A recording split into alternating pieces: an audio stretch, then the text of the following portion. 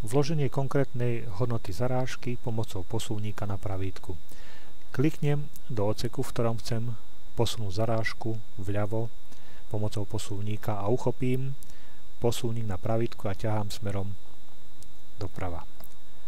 V aktívnom oceku sa text posunie v smere ťahania posuvníka na pravítku.